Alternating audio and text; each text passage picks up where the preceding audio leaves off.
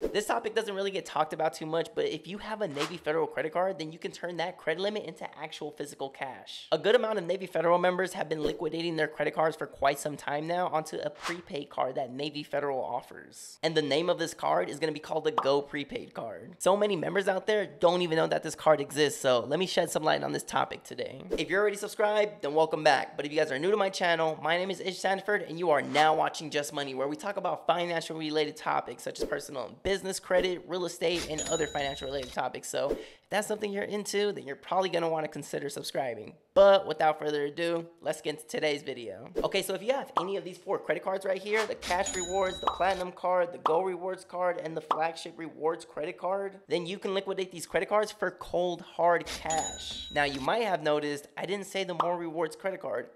Why is that? Well, if you want to add funds onto this Go prepaid card, then the only way you can do so is by using a debit card or a credit card that is either a Visa or a MasterCard. Since the More Rewards card is an American Express credit card, then this credit card will not be eligible for liquidation. And since we're already talking about liquidation, let's talk about why you would even need to do this in the first place. So some people like liquidating their credit cards because maybe they have a business idea that they want to get started with. Like for example, I know some people that like to flip cars and in order to do that, you need cash, not credit. Or maybe some people want to invest in the stock market or cryptocurrencies or even real estate. And I'm not a financial advisor, so before you even think about doing anything, always do your own due diligence. But those right there are just a few reasons why some people would like to liquidate their credit cards for cash. And the way you would do this is by using your Navy Federal Go prepaid card. This is kind of like an undercover secret weapon card that Navy Federal offers. They generally don't go around advertising this, at least from what I've noticed. But this card is really meant for budgeting purposes like keeping track of your spending and shared expenses. Or it's also meant to give to family members or even friends so that way they have a card that they can use for whatever they're trying to purchase. But just know if you would like to add multiple card holders onto your Go prepaid card, then they have to be at least 13 years of age and have a valid social security number. And since we're already talking about giving this card to family members or even friends, you're only allowed to have up to five of these Go prepaid cards. And the maximum limit you can have on one Go prepaid card is going to be $10,000. So if you have $10,000 on this prepaid card and then you spend 5,000, then you can load up another 5,000 back and then have $10,000 again on that card. One of the biggest drawbacks though, I feel like personally, is you're only allowed to withdraw $600 cash a day from an ATM. If you're the account owner though, then you can actually customize these limits. But the maximum limit is still going to be $600 cash a day. And like I said earlier, you're allowed up to five of these prepaid cards. So if you wanted to, you can get a couple of these cards so that way you can take out more per day.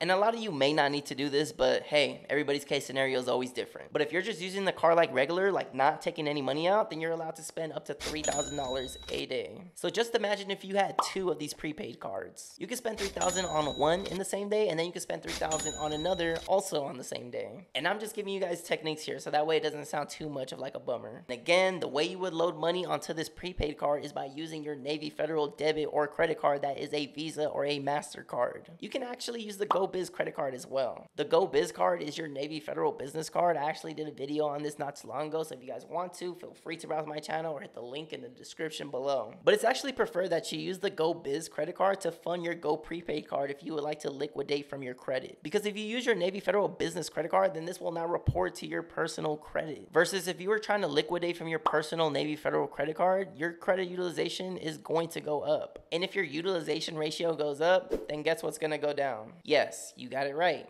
your credit. And I'm not telling you guys what to do, but all I'm saying is if you have your Go Biz card, then you probably want to liquidate from there instead of your personal credit cards. And when you use any of your Navy Federal credit cards to fund your Go prepaid card, it's going to be labeled as a purchase and not a cash advance. And also keep note, you will not get any reward points by doing this. And I give that to Navy Federal because that does kind of make sense. But the way you would load money onto the Go prepaid card is either on the mobile app or you can do it on the website. And this website is going to be a different website that has its own different login. When you receive this card to activate it, you'll have to go to navyfederal.org slash mygoprepaid. Or you can also activate it on the Navy Federal Go Prepaid app as well. And this is going to be an entirely different app than the Navy Federal app. But once you activate this card, you will be required to select a four-digit pin. And also, if you guys are finding any of this information helpful, if you guys could do me a favor and hit the like button, I would truly appreciate that because it really helps me out a lot. Now let's talk about some of the fees that this prepaid card has. So Navy Federal will charge you $1 every month after six months if there is no activity on this card. And they'll also charge an ATM fee of $1 if it's an out of network ATM. And then you'll pay whatever the regular ATM fee is as well. But Navy Federal has a list of free ATMs that you can use so that way you're not charged any fees. Now, another fee that they're going to have is a replacement card fee, which is $5, and also an express fee of $5 as well if you want your card sooner than later. This card is also going to charge you a foreign transaction fee as well, and that fee is going to be 1% of the total transaction amount. And that can be pretty high depending on what you're buying. And also, let me mention that the transactions that you make on this card may post or may not post on the same day. So if the total transaction exceeds the current balance that you have on your prepaid card, then your account is going to be overdrawn and carry a negative balance. And when you sign up for this card, you're agreeing to immediately deposit sufficient funds so that way you can take care of that negative balance. And if you don't correct that balance within 60 days, then the account on your Go prepaid card is going to close. And the Navy Federal is going to take the money out of your checking account or the original funding credit card to correct the balance. And two more things real quick before I end this video. You can authorize other Navy Federal members to add money onto this card, which can totally be really convenient for you. And you can also add this card to your digital wallet as well, such as Apple Pay, Google Pay,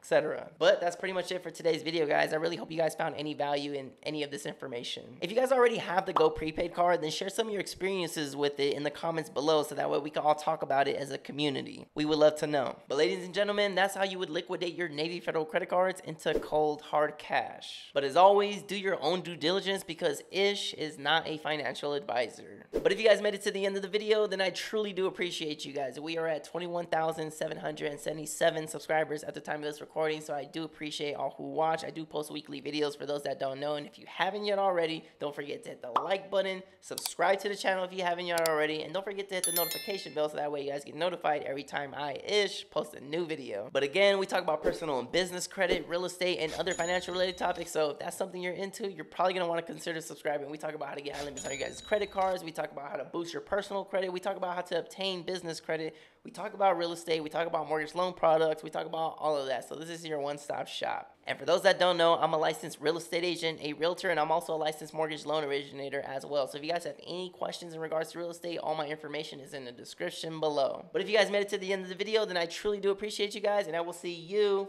in the next video. Thanks for watching.